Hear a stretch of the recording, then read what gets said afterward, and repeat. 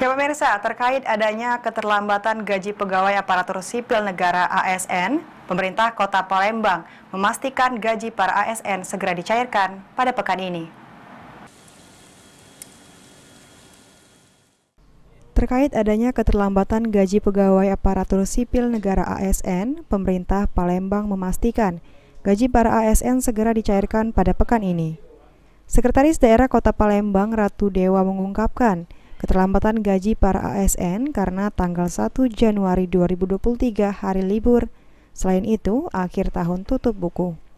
Sehingga memerlukan proses dalam administrasi keuangan. Untuk organisasi perangkat daerah OPD serta dinas di lingkungan pemerintah Palembang, diminta segera mengusulkan kebutuhan gaji ke Badan Pengelolaan Keuangan Aset Daerah BPKAD. Ratu Dewa akan memantau langsung pembayaran gaji ASN termasuk gaji para tenaga honorer di masing-masing organisasi perangkat daerah OPD. Karena Pemkot tidak akan menunda pembayaran gaji ASN kecuali ada hal prinsip yang tidak terrealisasi.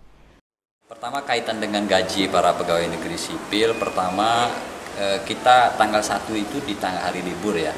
Satu terus kemarin mungkin ada beberapa organisasi perangkat daerah yang baru mengusulkan karena kita tutup buku. Mudah-mudahan hari ini segera saya cek dengan BPKAD untuk segera dibayarkan. Karena ini adalah hak mereka yang tidak boleh kita tunda kecuali ada hal-hal alasan yang benar-benar prinsip.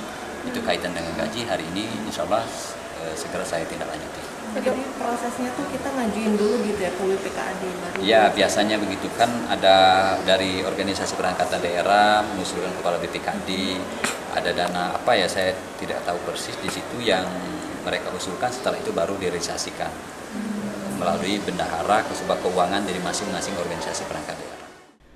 Pemerintah Kota Palembang melalui BPKAD akan membayar gaji ASN ke bendahara masing-masing OPD.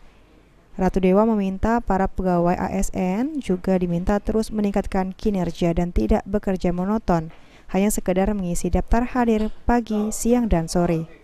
Abidin Riwanto, PAL TV.